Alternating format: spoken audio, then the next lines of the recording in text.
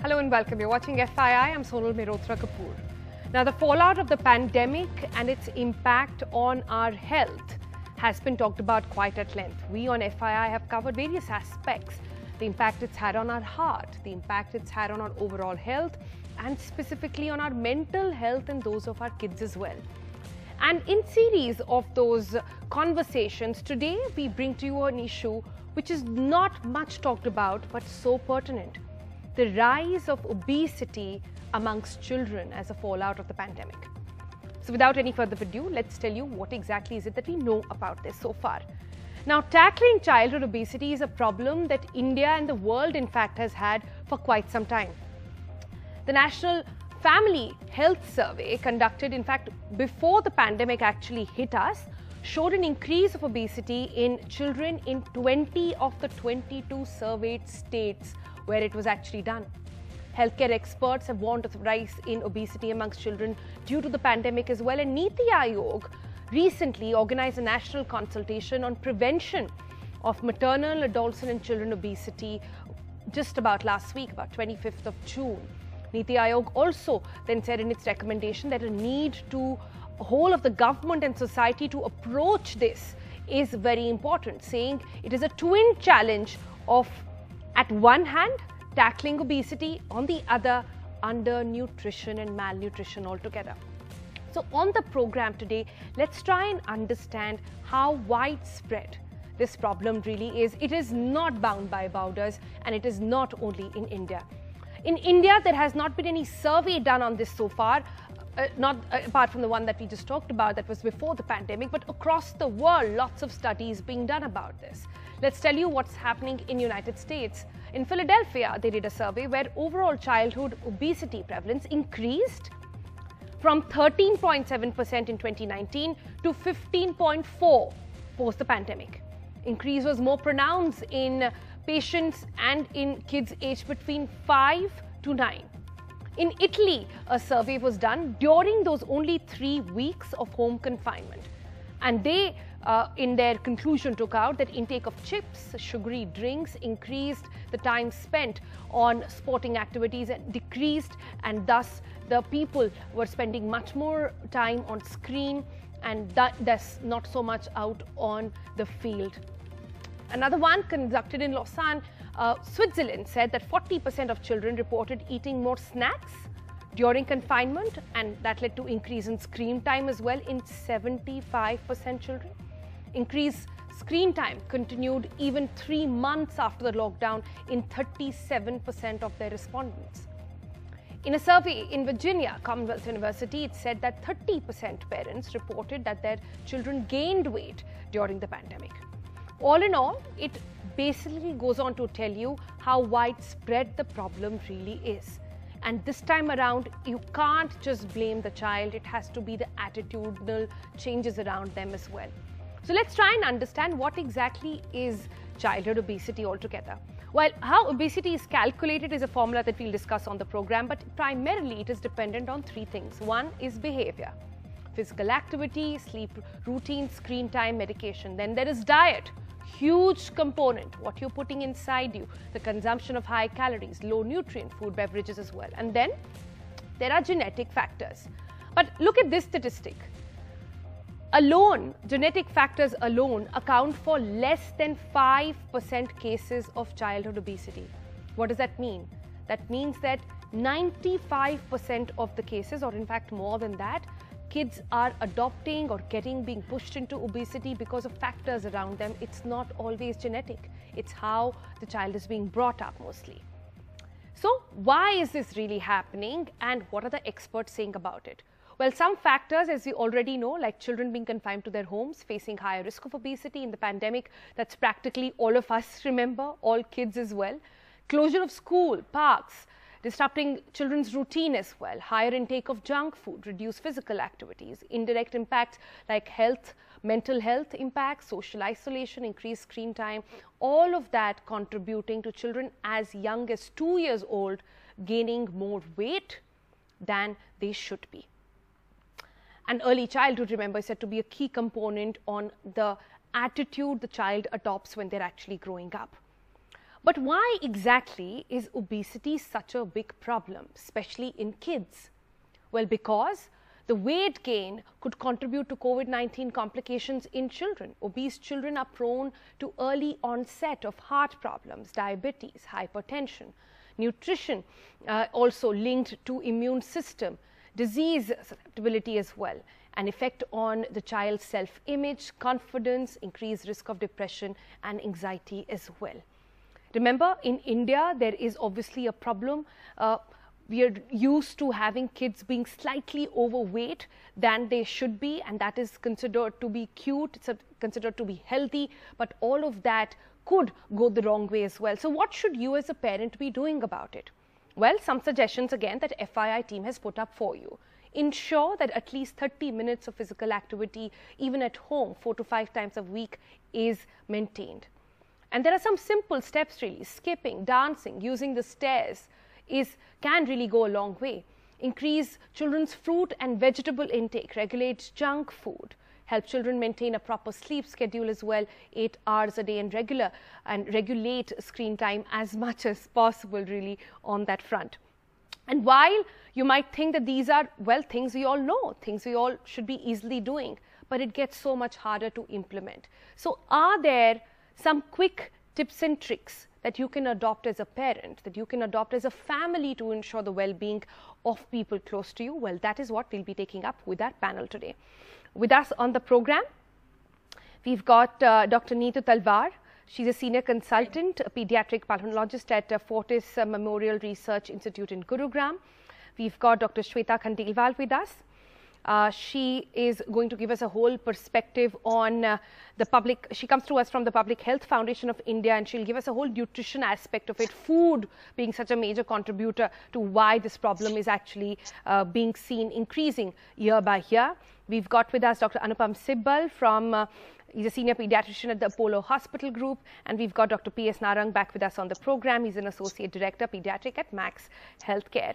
Uh, if I can go to uh, Dr. Shweta Khandelwal first and foremost on this. Uh, Dr. Shweta, I just want to start by basically wishing all of you a very happy Doctor's Day as well. Never a bad idea to start your day like that and uh, also to try and hold this conversation because this one actually is an issue that goes beyond the doctors obesity is an issue that doctors cannot help maintain but can they only step in much later so what is it that parents, we as a society, as a mindset change, is it that we need to adopt to ensure that this is nipped in the bud, as they say, nipped before the child actually grows into an adult and forms permanent habits? So rather than giving you long lectures about what can be done, I think I have a simple formula which people can benefit from. It's obesity go. And when I say obesity go, it's an acronym for me where there are several aspects we need to, as parents, as societies, as stakeholders, need to focus on. Hmm. O for me is optimal nutrition, where we are talking about whole grains, about fruits and vegetables, about hydration instead of giving juices and, and other things like those. So that's my optimal nutrition. Not under, not over, but optimal nutrition is my O. B is for behavior change as you rightly pointed out, mental health is an important component. Behavior change in terms of parents as models, they are also under a lot of pressure, school authorities. There's so much we need to instill, not only in our children, but in ourselves to be able to hmm. get that adopted. So that's behavior change for me for better lifestyle. Don't think this is a break time. Let them sleep the kids on any time. Any time is okay for TV. Please follow a routine is what I'm trying to say by this B. E for me is environment. Very few people know that actually poor environments around you cause obesity also. So try and contribute as young children, as parents, or as stakeholders again. Try to keep your environment clean and pollution free. S for me stands for science, the need for good quality research and good quality data for offering local solutions do not copy paste what is okay in US to be here. We have a completely different diet patterns, mm. completely different culture. We need to adapt science in a contextually relevant mm. manner. That's my S. I for me stands for uh, industry to be an important partner, but needs curtailing of these unhealthy, uh, promotion of these unhealthy foods to be curtailed by the industry. So some amount of voluntary is okay, but I think more from policy perspective, there, there needs to be a rein in in terms of the HFSS foods, the high fat, sugar and salty foods. FSSAI is doing a great job, but we need more support there. That's my I. T for me stands for use of technology technology for surveillance, technology for not for giving screen time to kids, but using that in an optimal fashion to improve their understanding about key issues around this important topic. Hmm. Why for me stands for youth ambassadors. We cannot do anything, you know, don't think that we are oldies or whatever. Youth by mean, by, by spirit, by age, by every other factor, you need to have that, that spirit to be ambassadors of this change. That's my obesity. And GO stands for G is a very important component, which is government policy. Like you rightly pointed mm. out, hmm. it's not the kids' fault, it's not the parents' fault. We need policy support, whether it's advertising, taxation, schools, meals, fortification, so many things, convergence. And last O, I want to end on a positive note. So O for optimism. The parents should not take this as their problem, their kids. It's a modifiable risk factor. 95% of it is modifiable, guys. So don't take stress. We can start today with simple steps. I'll stop right. there, Sonal. That's I'll a great mantra, actually, to get started. And so many things really that need to be streamlined on this one. Thanks for sharing uh, that with us. Let me go to Dr. Narang next. Uh, Dr. Narang, when, it, when you talk about obesity, it is the world is now getting obese, right? There is almost a term called globesity, which is now recognized and said to be one of the biggest killers. Some studies have also said it's bigger than maybe cancer as well. The onset, the early onset of diseases that it actually leads to. So this is a serious problem that we're looking at. But why does it become even more amplified when seen in kids?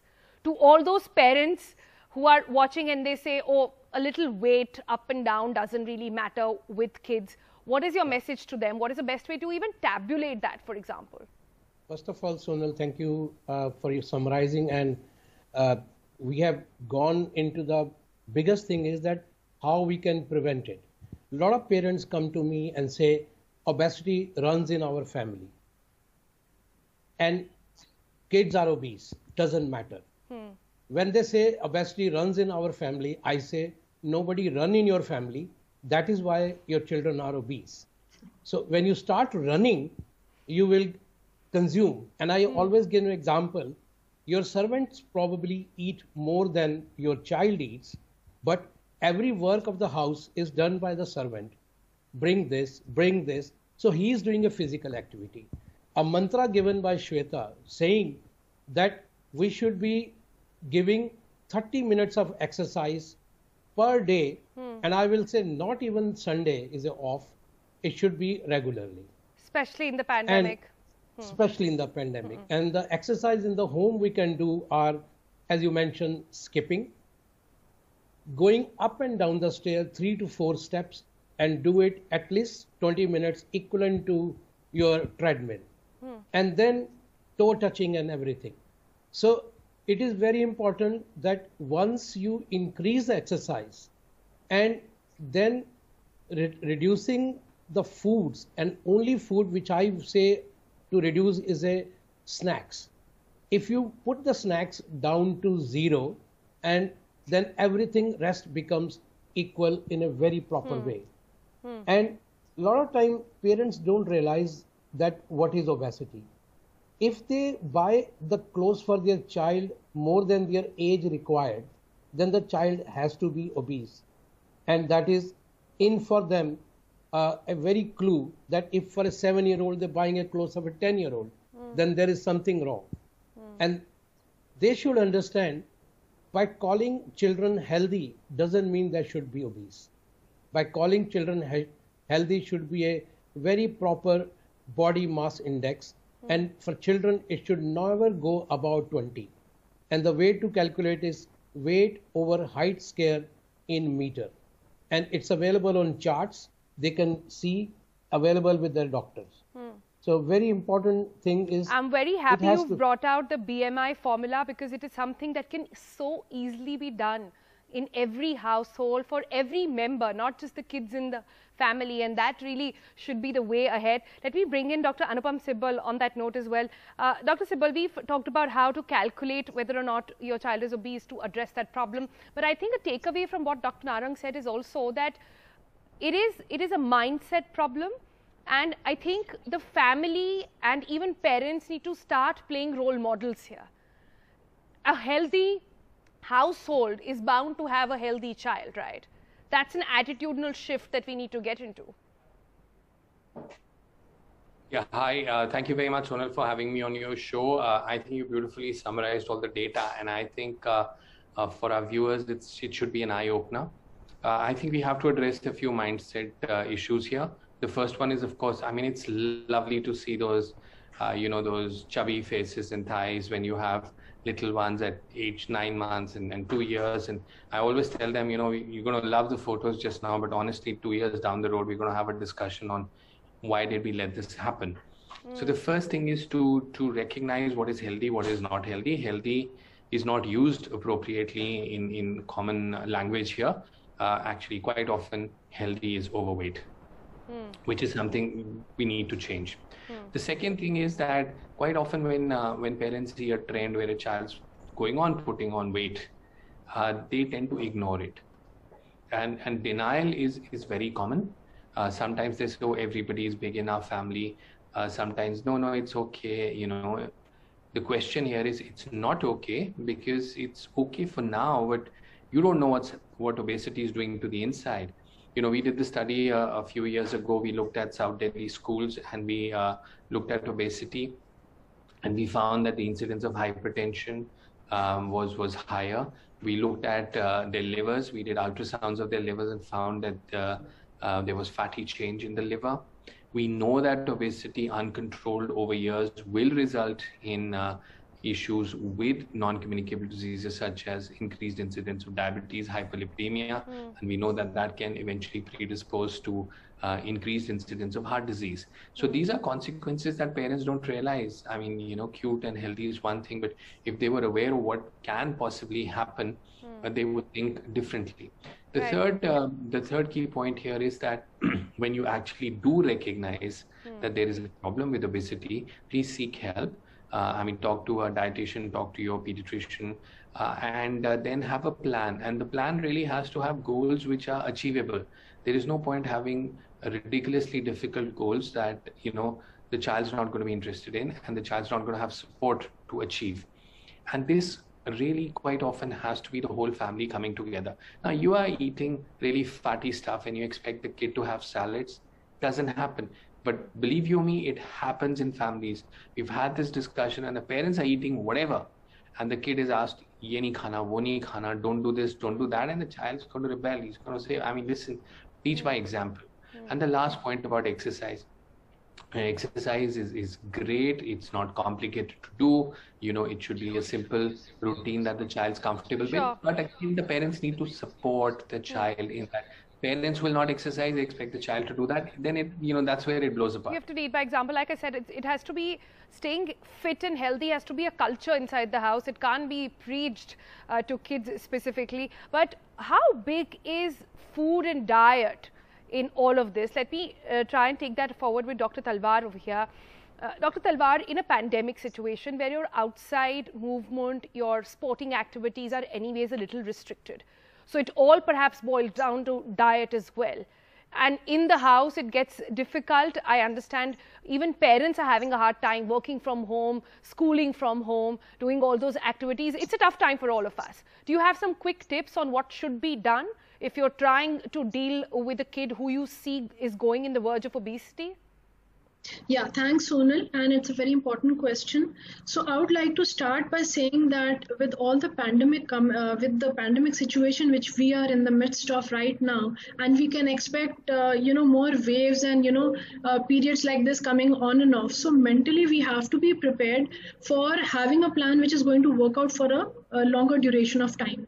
So it all starts. The first thing I would like to uh, say is the attitude. You know, all of us are under a lot of stress. Parents are working from home, yes, but they are under a lot of stress. Meeting targets, the work hours have increased. The children, you know, they have actually lost part of their childhood. There is no school. There is no. There are no friends, no teachers to pamper right, but them. Is with. there, is there a way in which you can encourage them to do so even in the constraints of the home? Yeah. So at home, you know, uh, because of the pandemic, everybody has started storing a lot of food stuff. Uh, uh, you know, fearing that there would be a lockdown and we would not be able to go out. So, uh, you know, storing all these chocolates and chips and high uh, calorie and uh, sugary foods and juices at home definitely should be discouraged. The second thing is, you know, if both the parents are at home, they could personally supervise what the child is eating. And definitely, I would agree with Dr. Narang that, you know, servants should be given a break. And I think parents should start cooking uh, and uh, involving the child in the cooking as well and telling them how to and teach them by practice what is healthy cooking hmm. you know making fruit salads having uh, more of vegetables uh, in your salad and you know involving them giving them responsibility whenever we have had uh, uh, you know projects in which we make the child in charge it really is always a hit and it's always a success. So the responsibility of the whole uh, nutrition of the family should be given to the child, and uh, you know they should be able to uh, uh chalk out a plan. Right. And all uh, interesting comments there. I have a last few minutes on the program, and I quickly want to go back to Dr. Shweta on this one. Dr. Shweta, uh, we as a society have had very little focus, if I can say, on uh, health, on mental health as well, but on nutritional value of the food that is going in. Yes, there are now lots of measures in place and, you know, at least in urban centers, in younger parents, we see them more proactive. Uh, but the advertisements, that's a huge controversy of uh, what kids are seeing, what they're consuming.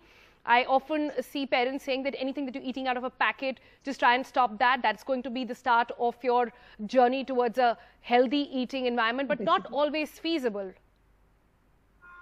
Right, right. Absolutely. I completely agree with you, and that is why the policy angle, which we spoke about earlier, is very, very critical. So FSSAI actually puts out several ways and means. There's, uh, you know, some videos and, and material for lay public also to use so by your medium, I'm telling them to access these uh, reputed, these uh, legible websites and make use of them. There's also UNICEF India, which has put out very good resources for children, activity-wise, age-wise, very clear-cut instructions on what children should do with parents and with you know other things. Mm. So I think we should make use of these resources. And for those who cannot understand or maybe access this, simple thing.